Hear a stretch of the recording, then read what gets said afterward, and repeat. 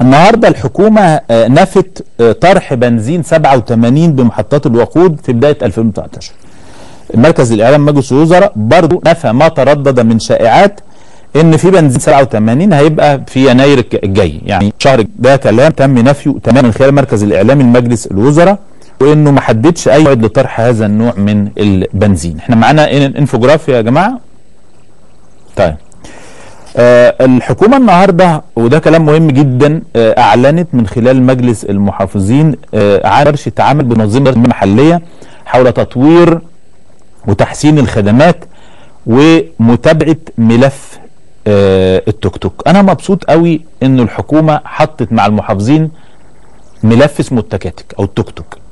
لأنه أنا واحد من الناس اللي هاجمت هذا الشيء منذ بداية مصر واعتبرته من أبرز ومظاهر علامات التخلف في مصر.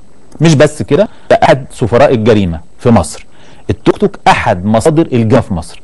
هو يهدد أمن المواطن يهدد المظهر الحضاري للبلد يهدد شوارعنا. آآ آآ عمل فئة من البلطجية ومن مرتكبي الجريمة المحترفين ومن القصر اللي بيتسربوا من المدارس ويشتغلوا في المهنة دي. فدمر التعليم زود الجريمة بوظ الأخلاق دمر الذوق الفني. ليه؟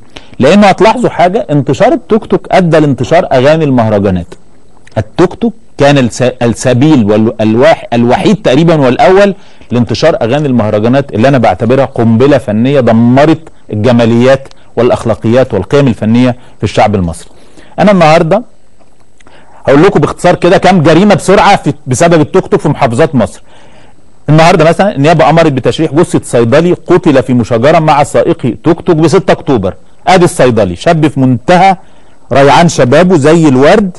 آآ آآ طلع عليه سواقين التكاتك قتلوه.